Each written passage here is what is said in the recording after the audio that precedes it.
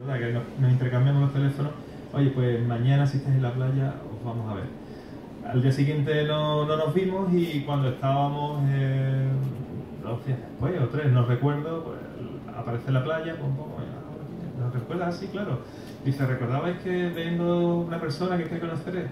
Por Dios, qué misterio. Aquí dice, mira, aquí tengo Susan Sarando, eh, los muchachos de los bomberos de España. Sí, está la Susan Sarando que ha un Oscar que es una activista muy, muy conocida y que fue a pasar sus vacaciones allí. No nos conocía nadie en España y Susan Sanando vino a conocernos, no a nosotros solamente, sino a los grupos que estábamos trabajando. Y decíamos, ¿y cómo es que estamos a conocernos? Se monta nuestro barco tal, y la, la, mujer muestra un interés por el trabajo que estamos haciendo y, y cuando, y la verdad, pensamos, se nos van a acabar todos los problemas económicos. Y estamos ya a empezar aquí a soltar dólares y, y hemos triunfado.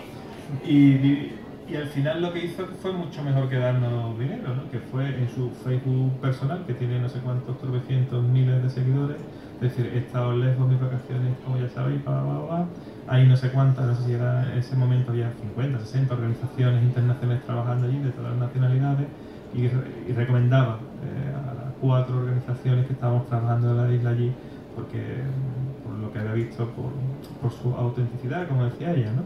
y uno de ellos éramos nosotros, ¿no? los bomberos españoles que estaban las 24 horas, los 7 días de la semana mojados allí en el mar. ¿no? Es decir, que, cuando tú estás allí, estás haciendo esas cosas, no te das cuenta de la trascendencia que tiene. ¿no? Y después incluso el Padre Ángel también vino a vernos, nos bendijo el, barco. Quiero decir que hay mucha gente que ha estado pasando por la isla y que quería ver a los bomberos españoles. Entonces de Sevilla también, ¿no? Sí, también somos de Sevilla. Ah, estupendo, fantástico y la gente venía y tal mmm, para ver si era verdad que estábamos allí y como siempre nos podían encontrar todas las noches en el campfire, en una zona que de trabajo, pues allí pues nos hemos encontrado con mucha gente y como decía antes, pues muchos españoles están allí trabajando eh, con, de, de, manera voluntaria y al final se habla la, la solidaridad. Os dejo ya una última reflexión absolutamente personal. Cuando la segunda vez que estuve allí, bueno, no recuerdo, cuando estuvimos detenidos, mi mujer estaba embarazada. Os podéis imaginar el, el, ¿no? un niño de cuatro años, mi mujer embarazada, el marido bombero detenido, un, un dramazo, un dramazo, vamos, de, de, de, telenovela de esta de Antena 3 de las 3 de la tarde, de esta chunga de llorar a más no poder. Y pues la, siguiente noche estamos reunidos los padres de la criatura, que somos tres compañeros, eh, amigos de confianza, que una, lleva organizaciones, otra es abogada, tal, y, la pregunta que flotaba en el ambiente, oye, ¿qué vamos a hacer? ¿Venimos? Tal, y la, siguiente pregunta era, ¿y tú vas a volver o qué vas a hacer? ¿no? Yo estaba muy callado y tal, y la mesa larga allí en casa, y al final dice, tío, bueno, estás callado, ¿tú qué, ¿tú qué dices? ¿Tú no dices nada? ¿No tienes nada que hablar?